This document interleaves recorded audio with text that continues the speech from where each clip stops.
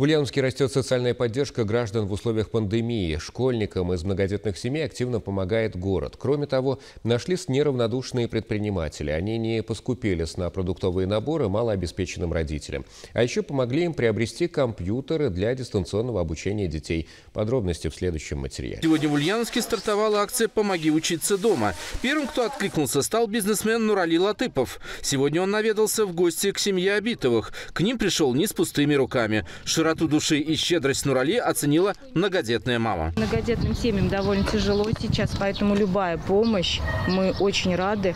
Это для нас очень важно. Спасибо большое. Он помогает не только продуктами, но и компьютеры дарит. Нурали знает, что детей перевели на дистанционное образование, но не каждая семья может купить своему ребенку хотя бы ноутбук. Нурали решил подставить плечо малообеспеченным родителям. Сегодня счастливым обладателем компьютера стал Айдар Саразидзинов. Ну, буду домашнее задания делать, работы. Новенький ноутбук достался и шестикласснику Руслану Шайдулину. Он понимает, что знание – это сила, а получить их поможет подарок Нурали Латыпова. Осталось распаковать его, а затем учинить мозговой штурм. На новом ноутбуке буду учиться на дистанционном уроке, делать презентации. Что лучше, получать подарки или дарить их самому? Перед Нурали Латыповым такой вопрос не стоит. Ведь одни улыбки людей, чего только стоит, говорит предприниматель. Я просто увидел, как сейчас тяжело тяжело жить обычным семьям, а семьям обычных рабочих.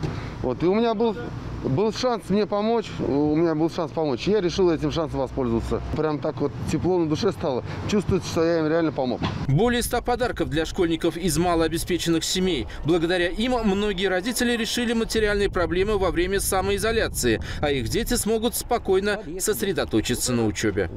Эдуард Истомин, Александр Абрамов, Вести Ульяновск.